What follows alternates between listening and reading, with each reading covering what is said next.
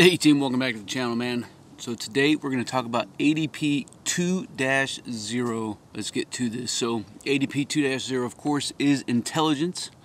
And we're going to break down uh, what's in the ADP as well as uh, some standard uh, type of questions that you might be asked should you be attending a board. Uh, and I'm going to tell you right off the bat that uh, the ADP, I have it pulled up right here, it's only 88 pages. So most ADPs are short like that and uh, easy enough to to read and skim through a little bit. Make sure that uh, you stay up to date on your knowledge so that you can master your craft and develop uh, who you are as an NCO, as a soldier, as a leader, right? So ADP 2-0 is intelligence. Easiest way to remember that, of course, is that the 2, uh, just think about S2, it's Intel. Uh, you know, and it's not that, again, it's not that big of a, of a manual. So, and most ADPs are not because they're they're broad in in uh, spectrum, if you will. Looking at the table of contents, you only have uh, five chapters in this thing, right? So you have uh, chapter one, which is operations and intelligence. Chapter two, which is Intel support. Chapter three, which is the Intel process. Chapter four, uh, Intel capabilities, and then chapter five, fighting for intelligence. So you can see again it's broad in scope and spectrum um, and it's not going to dig into the weeds on anything in particular. So let's start looking at this a little bit more and then we'll try to help make some sense of this as we keep going. If there are some questions, some comments, some current concerns, if I can learn how to read, make sure you leave them down in the comments below. That way we can continue to master our craft. And man, and if Intel is your thing, then definitely would love to hear from you as well. So we'll just keep this conversation rolling. So we're going to pick up here looking at the intelligence process. And I'll throw this up and so you can see it's kind of a OODA loop, uh, if you will, which is an old acronym. Uh, but the Intel process is to plan and direct collect and process, produce, and then disseminate. And then that just continues. And on the inside of that circle, you can see where we're going to cons uh, consistently analyze and then assess. And that, in and of itself, is the intelligence process. This is what the dudes in the intel business are constantly doing and it's a loop constantly cycling it's never complete if you will because things always change as we're going to see when we talk about uh, operational and uh, other variables that we have out there. Speaking of uh, operational variables, now there's operational variables and there's mission variables. Most of what all of us uh, at the battalion level and below are going to be dealing with are going to be mission variables. And of course, that's mission, enemy, terrain, troops, time, and civil considerations, MET-TC at, echelons above, we're talking about operational variables. And as you can see here, we have political, military, economic, social, information, infrastructure, physical environment, and time. Very correspond very much so, right? It's just a different acronym, PMESI PT, and that's something that you should know, especially uh, if you start working in the operations process, right? Next up, looking at the Army strategic roles. We got shaping the environment, preventing conflict, prevailing during uh, LSCO or large-scale combat operations, and then consolidating gains. And so this is basically uh, the strategic uh, method, if you will, or the role for how the Army wants to win. And so what is intelligence? So the purpose of intelligence is uh, intelligence is a product, it's a process, it's a function that enables the Army to conduct operations by supporting the commander in command and control, right? So commanders rely on a lot of different types of products to get after their business, and intelligence is one of those things. It's a warfighting function. You may hear that from time to time, and is going to directly impact the operations process, which is to plan, prepare, execute, and assess. So you should know that because that's going to feed into all types of questions. You know, what's the operations process? Plan, prepare, execute, and assess. Right. So the Intel process provides the basis for common intelligence terminology terminology and procedures. It consists of six interrelated categories and intelligence operations.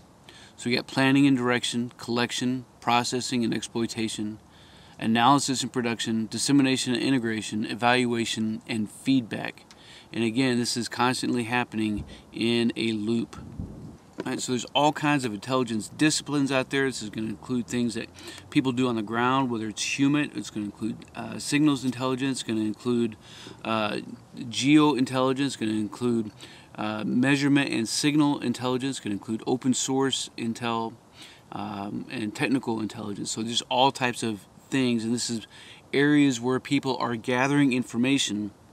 They're analyzing it and they're trying to understand it more and turning it into something that the commander needs in order to make a decision, right? In order to make decisions.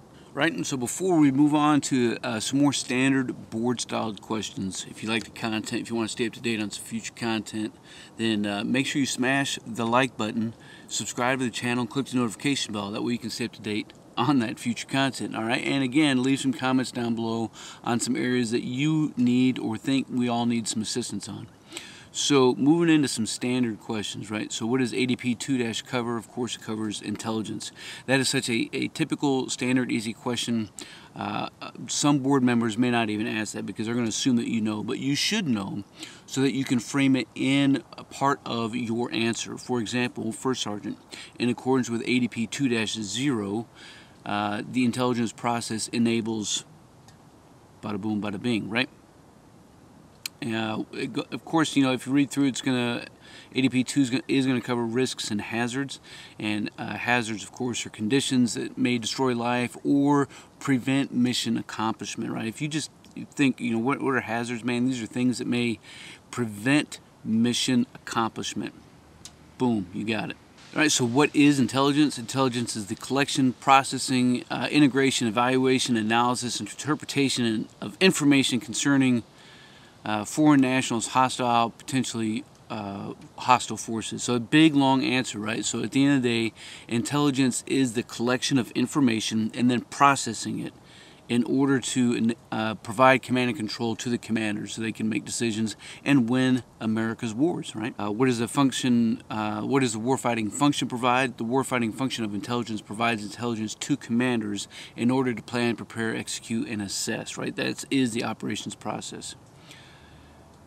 What are the two most important areas or aspects of intelligence? And that's enabling commission command and providing support in, in order for them to make decisions.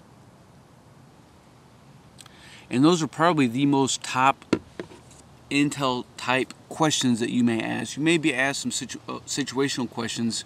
Uh, for example, maybe how do you enable uh, the intelligence process? And you may not really feel like you have a role or know or believe that you have a role. Uh, but you need to know that you provide information uh, regardless of what your MOS is, regardless of what your unit is, what you do on a day-to-day -day basis is providing feedback to your intelligence folks in order for them to be able to process it in conjunction with other outside information, if, you, if that makes sense, in order to feed in that information to the commander for him or her to be able to plan, prepare, execute, and assess those specific operations. So regardless what you do, you have you have an aspect or a role. So what do you do? Man, I don't care if you're a cook.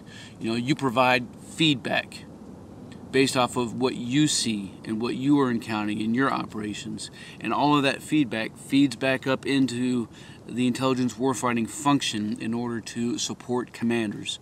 So again, we all we all have some kind of a role to play. So I hope you did enjoy uh, the little uh, mini session, if you will, on ADP 2-0, which of course is intelligence. Again, man, leave some comments down below. Uh, make sure you share this out with a battle buddy or friend. And again, leave some comments so that I can continue to master my own craft of bringing the best information out here uh, to the channel and to the YouTube verse. I appreciate all you guys, man. You stay out there, you keep grinding, and you stay stoked.